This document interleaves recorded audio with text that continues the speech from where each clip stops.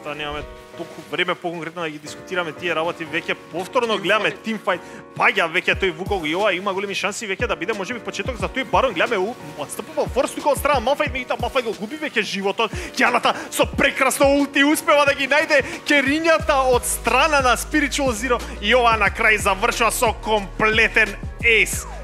Каков тимфајт успеа да најдат хармони згора на тоа ќе Гледаме рипел, меѓутоа нема флеш овој пат, нема има само еден стопач, меѓу време, пробува да купат време. Другата страна Малфајт од користи своето улти Кајса е доста лоу веќе. Меѓутоа какво улти гледаме тука од стрија од страна на Кијаната? Меѓутоа сепак ако ништо друго повторно се во релативно подобра позиција.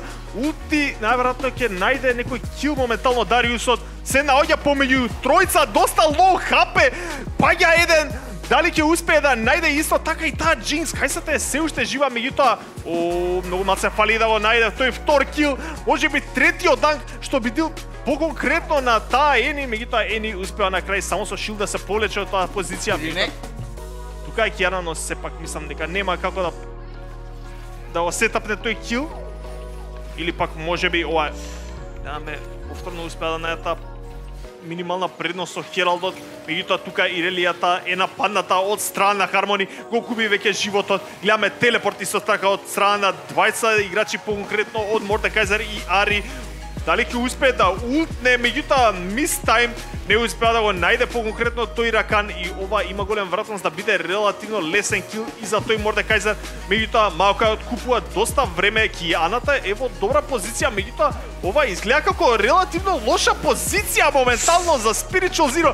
Какво улти од страна на Кијаната, меѓутоа сепак сега за сега Се повторно се во спасија. некоја минимална предност, се враќа повторно Арито, меѓутоа успеа да го утне тој чарм гледаме сите да се движат натаму со тоа што Малфајтот е последен, нема Астопору упорс така да гледаме паѓа доста лово меѓу време Браун пробува да купи време игра доста агресивно овој пат Хармони.